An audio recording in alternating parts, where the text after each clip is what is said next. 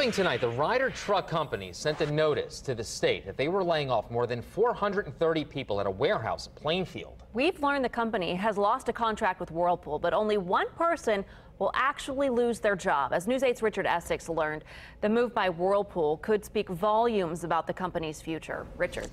Three years ago, Whirlpool asked President Trump for protection against foreign competitors in the form of tariffs. The tariffs may not be enough to save Whirlpool. It is a familiar logo. The yellow circle through the Whirlpool name is a staple in household appliances. The name at the bottom of the sign may be a little confusing Ryder, most commonly associated with rental trucks.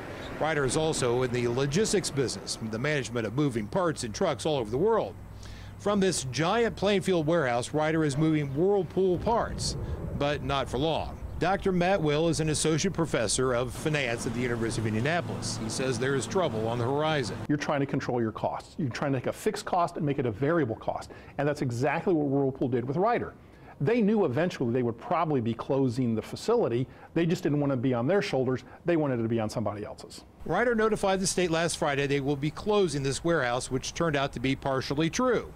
As of July 12th, Ryder will no longer operate this warehouse. We don't know who it's going to be yet, but they're obviously going to find somebody. You have to distribute your appliances by some, some entity, but because it's a variable cost, because they outsource it, they can squeeze their vendors for more uh, cheaper costs. All but one of the current employees has been offered a position with the new logistics vendor.